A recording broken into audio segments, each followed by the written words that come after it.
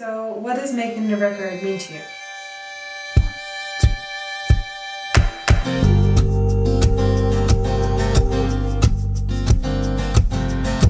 There's a path that we all must take to reach the dreams that we seek to make. To make a record is like creating the story around the song even more intricate than what you do in the first place, writing the song. When you produce, it's like making the whole story around the song and, and the concept, and it's almost like writing a play that you can just put in all the funny and, and interesting details that you want to have in it. And you know, when you get the masters back, it's almost like Christmas and wrapping a present is just the best feeling in the world. Even though it's a lot of work, it's um, so much creativity and, and joy put in it that it's just one of the best things I know. The songwriting process is my favourite bit by a mile. I love writing the songs. Um, and then we kind of get into the nitty gritty recording bit, which can be either really awesome or an tedious nightmare. It just completely depends on the producer, on how well it kind of comes together. And sometimes songs which you don't think are going to end up um, kind of being the main kind of focus of releases uh, kind of take place in the studio and turn into just um, beasts in their own right, fantastic. Uh, and then you have the kind of painful media PR slog and kind of chicken everything out.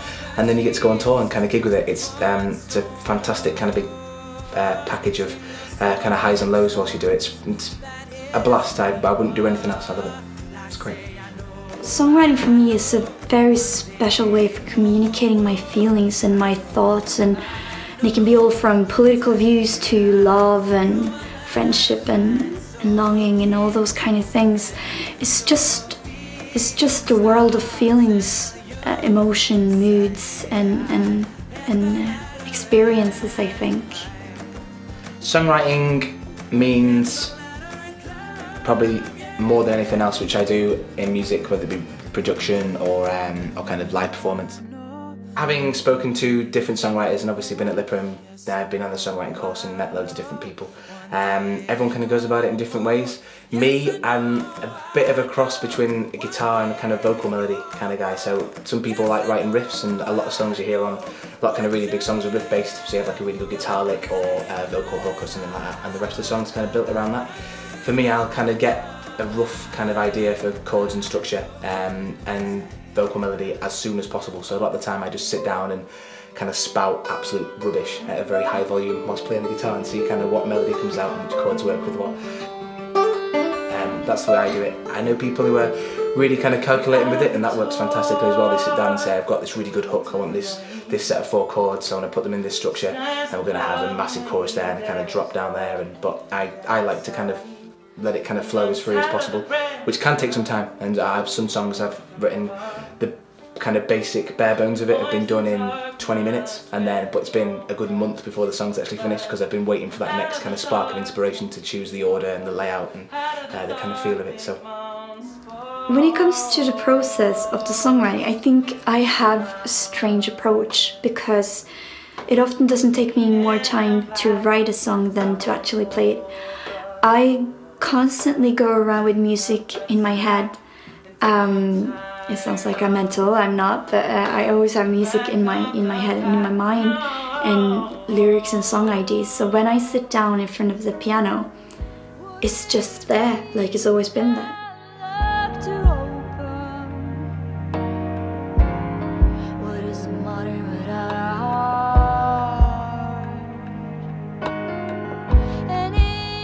the, the most important thing is, is the inspirational side of everything. I think that um, you shouldn't really, if something's not coming naturally to you, you, you shouldn't sit down and flog it. I don't, but some people do believe in doing that and believe like going in it religiously, like work, and they have to work every day.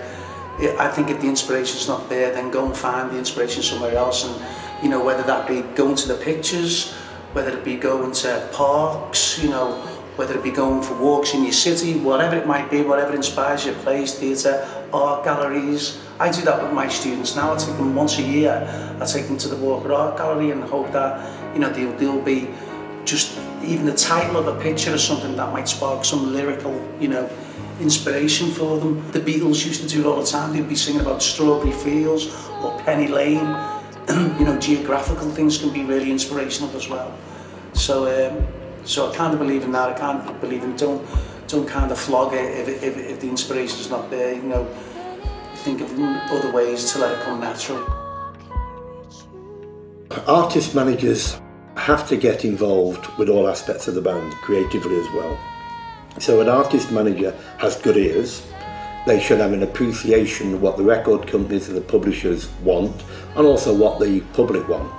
So they should be able to advise a band that that should be an A side or a B side of a single in those days when there used to be A sides and B sides, what order tracks should be, which tracks they should do, what they shouldn't do, um, album covers, does it communicate, uh, even to the extent of what they wear and how they um, hold themselves when they're in front of the public. So there's those creative aspects.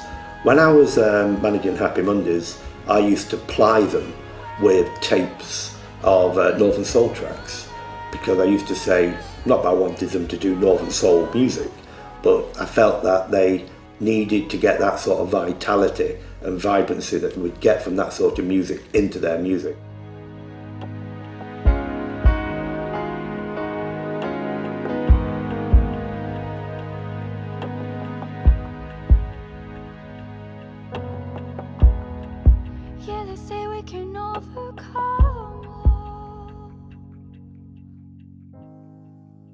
When it comes to my music, I'm really, I really like to be involved in every single part of it, and sometimes that can be detrimental, and it's worth kind of giving a bit of control to other people. But um, I, I like being kind of involved with it from day one. I mean, no one knows better than I do how I want my record to sound like, so I was pretty involved.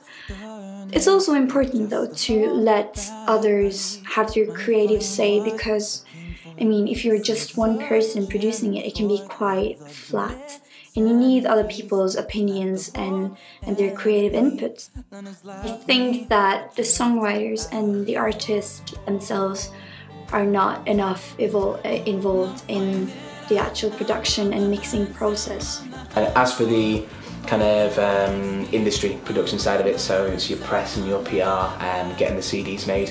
Um, I have a kind of 50-50 hand with my management and that, so I went. I have a company I use for all my CD EP creation, so I went back to them this year. Um, and then I designed the artwork in conjunction with some guys at uh, MMU in Manchester. Uh, they gave me a big pile of artwork a few years ago that I'm still kind of picking bits from and editing, um, which has been fantastic. And yeah, just kind of tied it all together between them and my and my management company. We kind of meet in the middle and say, uh, you do this half and I'll do this half, and we'll, we'll hopefully everything will come together. I think management is probably one of the most important links in, in a musician's career. My skill is to write songs and perform them, um, not necessarily be a manager. The artist manager looks after the artist in all respects.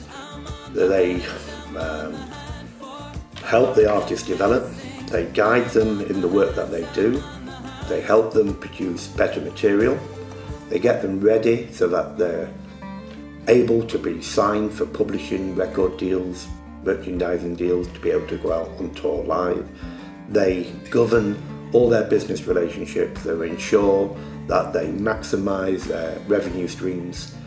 Basically, that's what a manager does characteristics somebody aspiring to be an arts manager would need would be to be a bit of a person person, be able to judge people well, be able to recognise talent, be able to recognise when people are on the right track and what connects to a potential audience, whether that be a business audience like a record company or the actual public audience.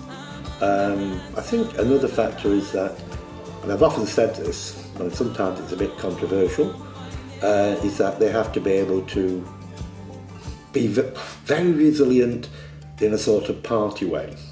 So in other words, they have to be able to do everything the band does, just to have some sort of affinity with the band, but still be able to work when everybody else is flat out on the feet.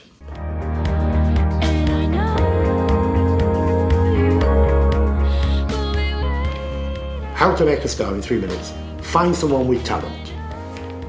If you can't find someone with talent, don't worry, just find someone. And that's how it started off. And I think that's true.